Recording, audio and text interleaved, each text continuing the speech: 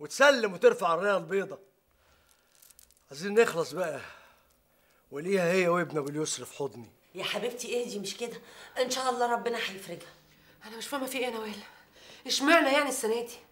أنا كده هيتخرب بيتي. ده أنا شارية بضاعة ب 50 مليون جنيه. ما بعتش منها حاجة دلوقتي غير ب 4 مليون بس. دلوقتي يجي فوزي ونعرف منه إيه اللي حصل. يا فوزي عرفت حاجة؟ عرفت يا زهر عرفت كل حاجة. طب ما تقول لنا. طب يا جماعة خد نفسي وبعدين أقول لكم. نفسك إيه؟ أنا في مصيبة أتكلم.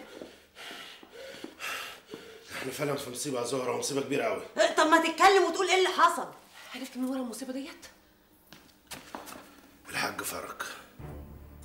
فرج؟ أمال فرج وتجارة اليميش بتاعتي. دخل حرب معاك يا زهرة وبيضرب تحت الحزام. يعني البضاعه في السوق دي كلها. بتاعت فرج أيوه يا ريت على البضاعة وبس. ده التجار مش ناويين يتعاملوا مع حد في السوق غيره. ده ناقص يعملوا له أغاني كمان ويوزعوها في السوق. ليه يعني كل ده؟ هو بقاله قد إيه بيشتغل في تجارة اليميش؟ جايب بضاعة يعني أحسن من البضاعة بتاعتنا؟ مش حكاية أحسن ولا أوحش هي هي نفس البضاعة وبنفس المواصفات. بس مش هو ده السبب. ما تتكلم بقى أنت هتنقطني بالكلام كمان ولا إيه؟ يا ستي عايز يضرب لنا الأسعار بيبيع بأسعار أقل من أسعارنا. قد إيه يعني؟ 25% نهار أسود. 25% ده بيرمي الفلوس في الأرض. مش بقول لك ناوي على حرب معاك يا زهرة وحرب إيه؟ ما فيهاش يوم مرحمين. قعد مع التجار وغرق السوق كمان. يبيع أقل مني 25% يا يا فرج أنت ناوي على خراب بيتي بقى. وخراب مستعجل. وعشان إيه كل ده؟ ما ده جزاتي برضه أنا بعت له الواد ابنه عشان يشوفه. الحاج فرج مش من النوع اللي تديله لقمة ويرضى بيها يا زهرة. الحاج فرج عايز يشيل الجمل بما حمل.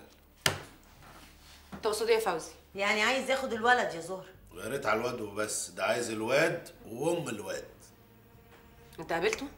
قابلته بعد ما خرج من السجن وقال لي الكلام ده. وبعدين يا زهر هتعملي إيه؟ ده ابتدى يعلن الحرب بجد. يا بنتي يعلن الحرب إيه؟ هو لسه يعلن؟ ده دخل الحرب معانا. وكسب أول جولة في المعركة. بس الحرب بقى لسه ما انتهتش. وإذا كان هو الحاج فرج أبو اليسر فأنا كمان الحاجة زهره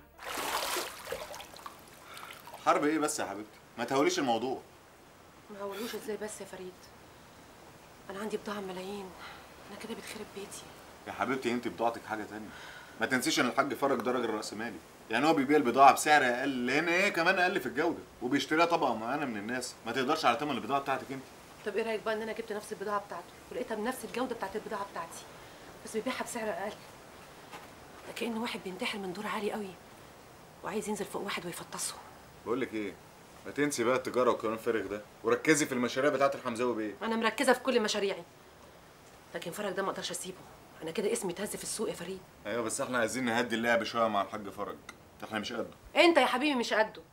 أنا قده بقى وقد 20 زيه كمان.